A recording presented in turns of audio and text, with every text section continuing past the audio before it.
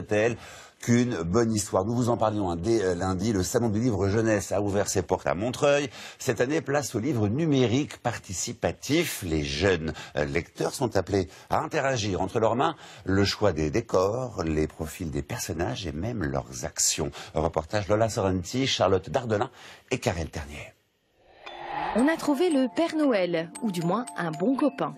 Damien Stevens, papa de Margot et Victor, a créé la première bibliothèque numérique pour enfants, totalement gratuite. Tu tournes la page?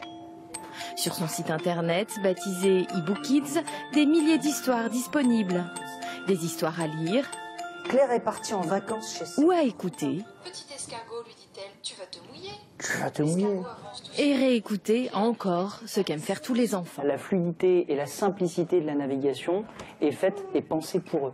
Ce sont des histoires qui durent 5 minutes et qui permettent tout simplement de faire l'histoire du soir ou l'histoire euh, d'après l'école en fait.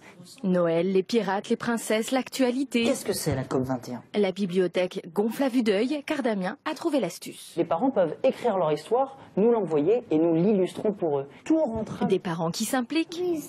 Ça vaut bien un gros bisou.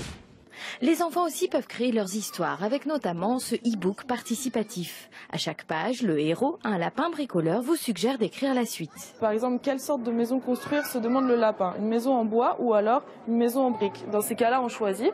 L'enfant, il peut le relire, le relire, le relire, ce sera jamais la même histoire en fait. Les récits labyrinthiques, c'est aussi ce que fait cette petite boîte, la Luni. Vous choisissez vos décors, vos personnages.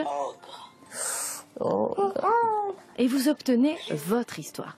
Viens par ici, petit Sion. Tiens une grosse voix juste derrière lui.